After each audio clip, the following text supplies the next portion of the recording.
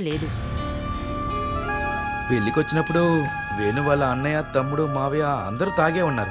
వేణు వాళ్ళ కుటుంబం గురించి బాగా ఎంక్వైరీ చేశారా నాన్న? ఏది ఎంక్వైరీ చేయకుండా బాలాన్ని తెలియని వాళ్ళకి ఇచ్చానా ఏంటి? ఏం మాట్లాడుతున్నారు? అదంతా ఏమీ లేదు. ఏంటో నాకైతే ఆ కుటుంబం మీద మంచి అభిప్రాయం లేదు. వేణు మంచోడైతే బాలాకే అదృష్టం.